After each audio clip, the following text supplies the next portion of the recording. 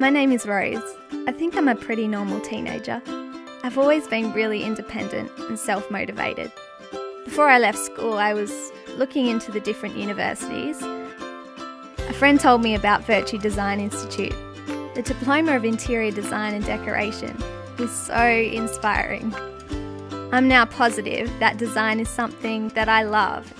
If it weren't for my experience with Virtu so far, I might never have figured that out.